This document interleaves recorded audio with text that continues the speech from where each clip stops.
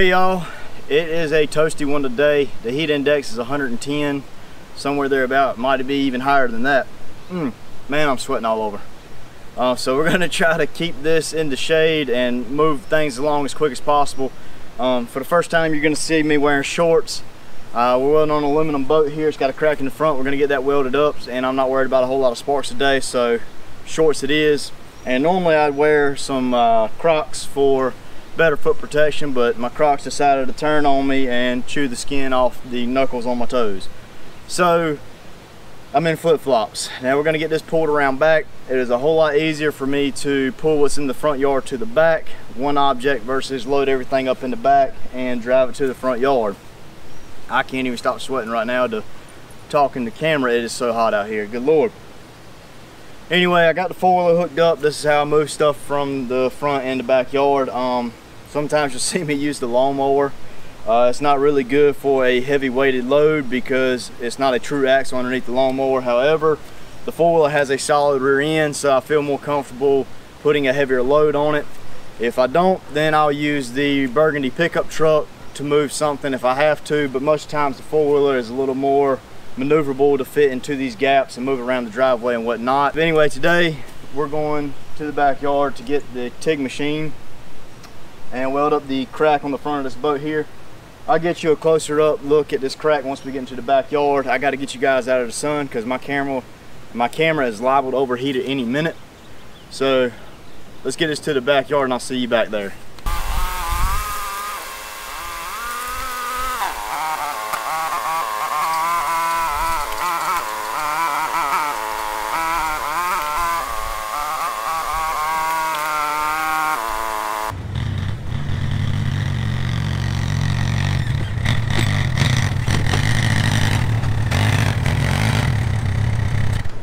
All right, so it's blazing hot and hopefully I'm talking loud enough to, so that you can hear me over the fan I got going.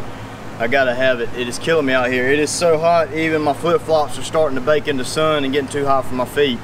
So, right now I've got to pull the trolling motor off. From what I can tell, it's four Phillips head screws. Pull this thing off. That's gonna give us more room to get to the nose right here where the actual where the actual crack is. And I'll get you in for a close-up once I get this once I get this off and I can get you in here to really look at what we want to do. There's a crack here. We're going to drill both ends of the crack, which is normal for any crack. Then we're going to come through, clean it up with a wire wheel and some sandpaper probably to get it cleaned up, and then we'll go and weld it out. Um, but again, it's toasty hot, so we're going to do less talking and more working and get this trolling motor taken off.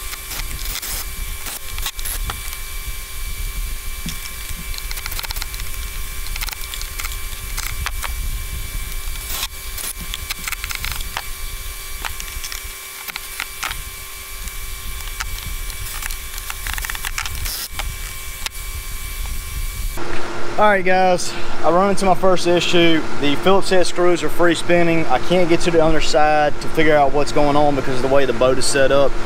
So I went inside, I had a nice talk with the customer. I explained to him that, you know, there's a whole bunch of solutions I could do to get this off, get this trolling motor out of the way, but they could lead down a rabbit hole and I'm just not willing to put in the time in this 110 degree weather to go those routes it could take a wrong turn at any minute and turn ugly and I'm out here all day baking and it's just not safe. It's not healthy at all. Um, he explained to me he has some fishing tournaments lined up for next week or so and he's concerned about the crack going further down the hole and I explained to him that I could weld from the bottom of the crack up and go as high as I could reach safely without messing up his trolling motor or anything else and he said that would give him a whole bunch of reassurance when he's on the water that is that the crack is not going to go further down the hole um, and he'll have that peace of mind while he's fishing. And he knows that anytime he can bring it back further down the road when it cools off and we can get the top if we can't get it today. Uh, if you check out on Instagram that guy's one channel on Instagram. You'll see I did a uh, post on this a, a little while ago a few minutes ago actually when I was inside talking to the customer about avoiding rabbit holes and setting limits. Go check that out. Again, Instagram, that guy's one channel on Instagram. I do a lot of more up-to-date stuff on that. It takes longer for me to do the videos for them to come out, so they come out further down the road.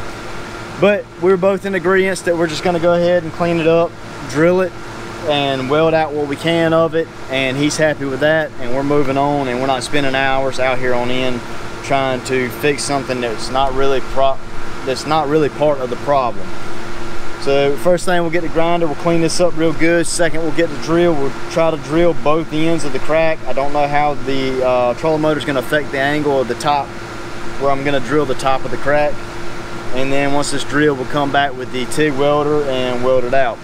So I'm gonna get the grinder and move on with this.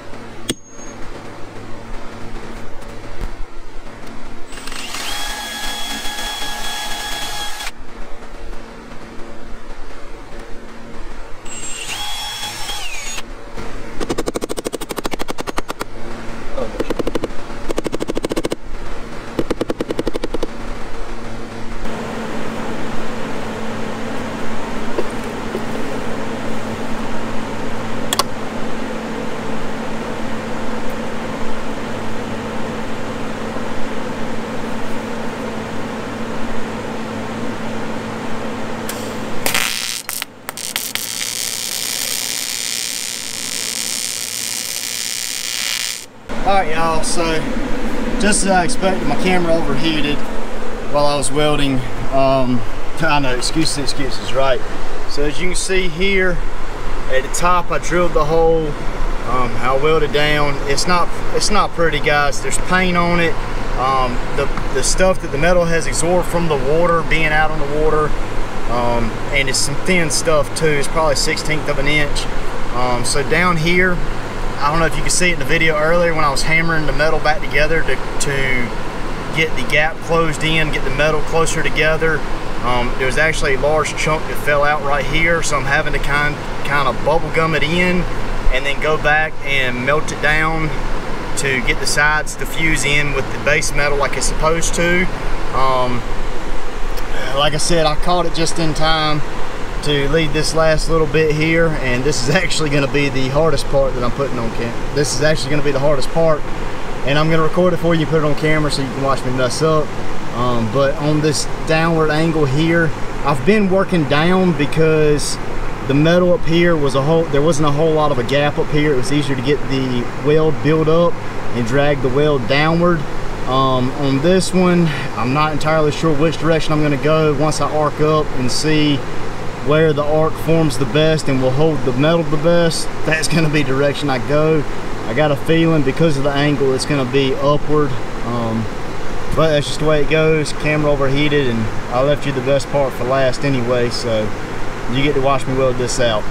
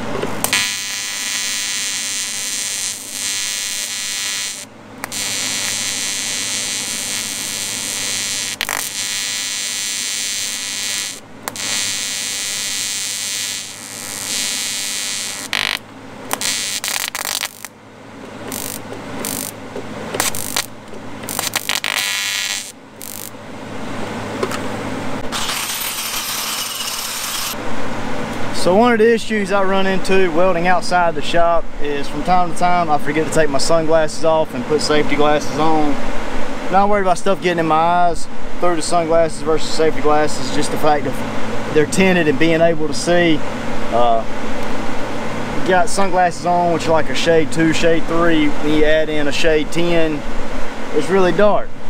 um, not necessarily having a hard time with this because of what I can and can't see. Um, but it certainly wouldn't help to get these things swapped out to my regular safety glasses. So we dabbed in a little bit of aluminum on the tungsten here. I had to go clean the tungsten up real quick, but now we're back at it, clean tungsten. We're gonna see if we can't weld this last bottom piece out, which obviously is where the most concern is. So let's get to it.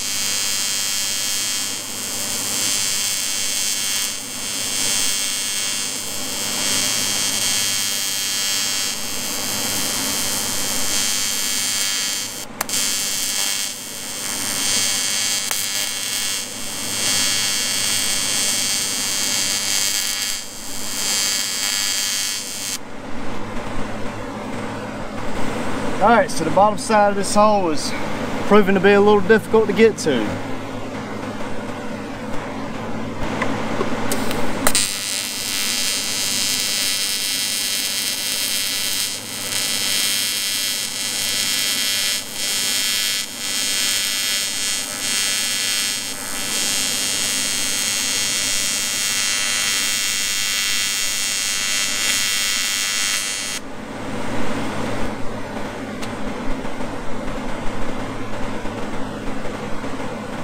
I might dig a little bit. I'll go to it.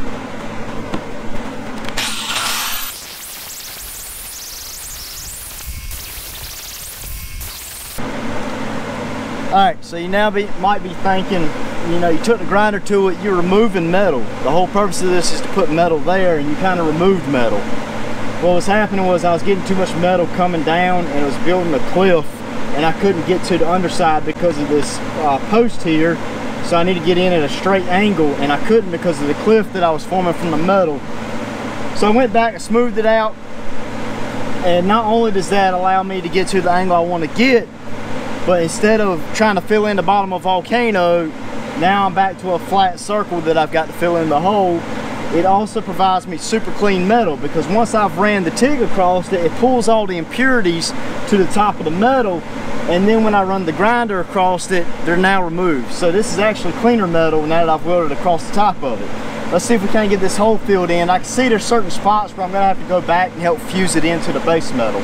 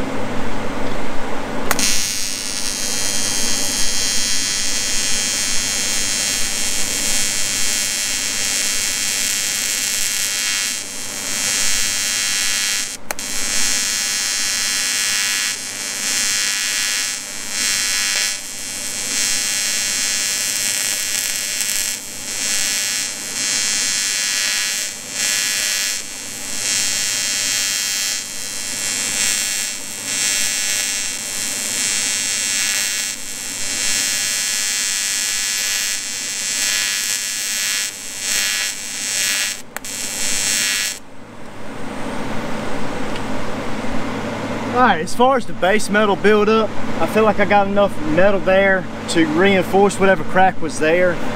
Now I'm gonna take and just clean my tungsten off and go back with the, uh, whew, it's hot. But I'm just gonna go back and fuse the bead in with the base metal all the way around. I can see certain spots where it's kind of humped up and I just want to make sure all the toes are tied in really good. So get this tip cleaned, uh, tungsten cleaned up, and we'll go back and try to fuse some of this stuff in a little bit better. There's still the hole right here at the top. I'm also gonna uh, try to fill that in. I believe the trolling motor shouldn't be too much of an issue. Um, I might have cleaned a little more with the with the wire wheel. I can already tell the paint is really close to the hole, and that's gonna pull right into the wheel. Um, so that's the plan for right now. Let's get this tungsten cleaned up.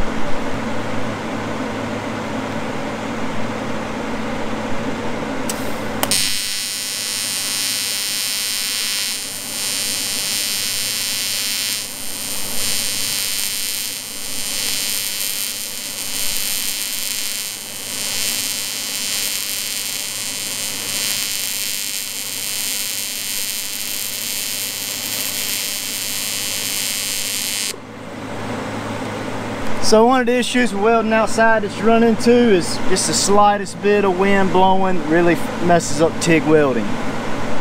Sounds doing good, but for some reason now all of a sudden the wind decided to pick up out of nowhere. I cranked my gas up. Hopefully that'll help. Again, we're just going back and fusing stuff in. We're not trying to weld, so hopefully that gas, cranking up that gas will be enough.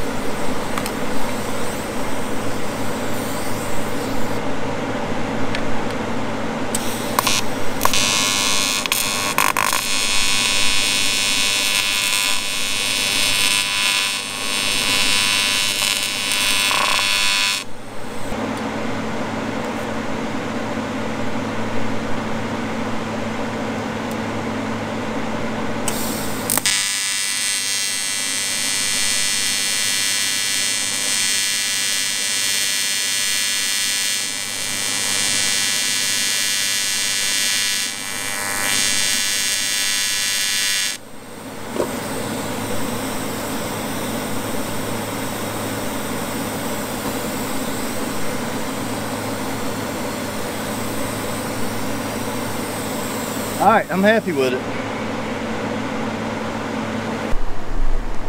All right, there we go. Let's take a good look at it. Up close for you. As you can see, the holders up here, we got it filled in pretty good. It's not the prettiest looking thing. Um, it's some nasty aluminum. This ain't clean aluminum right out of the uh, store. Um, as you can see, I went around and I fused all the way down and even the underside there, if you can see it, I'm not sure if you can, um, went all the way around and fused the bead into the base metal really good make sure we got a good seal. Um, hopefully no water will be getting into it. Um, this part normally is out of the water and usually what gets in through the crack is just splashed up. Um, but got it built up really good right here to kind of reinforce it. Um, on something this thin, it's hard to weld a crack back flat to the original strength. You got to put some kind of, you got to build it up to reinforce it. But here it is, it's all good. Um, got it the wire wheel, clean it up, make it look a little better for the customer so he can put some paint on it when he takes it home. But that's what you get. And I get asked all the time, people think I'm a backyard welder and I am because I'm in my backyard. But they think that I'm using grandpa's stick welder or some 110 uh, MIG gun and not. I got 220 MIG, uh, it comes, it's spool gun. It is a box store brand, but I can assure you it outwields some of the top of the line welders um, up to a certain thickness of metal. But what we weld on today is a square wave TIG 200. It's a really good machine, perfect for the average individual. But the one killer this machine has, and nobody mentions it in any of the videos, is the fact this thing has a 15 second post flow and it will eat you out of a bottle of gas quicker than you can weld. Um, so when you talk about price differences in welding, uh, you'll notice that TIG welding is typically more expensive than MIG welding. One, the skill that's required, not everybody who welds can TIG weld. Not everybody that TIG welds TIG welds on aluminum. So it's a it's a certain niche, niche, niche, however you say it, for aluminum TIG. Not only that, but the fact this thing eats me out of gas. I've got to pay for that. That's out of my pocket, out of my hourly charge. So keep that in mind when you need something welded. Anyway, hope you guys enjoyed the video. Hope you guys enjoyed the weld. And uh hopefully you learned something today. Click that subscribe button hit that bell for notifications. Leave me a comment down below if you saw something i could have done easier. I'm always willing to learn. Maybe you learned something. Leave me a comment down below if you learned something. Hell just leave me a comment for anything. It helps the video out. Any any interaction with the video helps it out. All right guys. I'll catch you on the next one. Y'all have a good one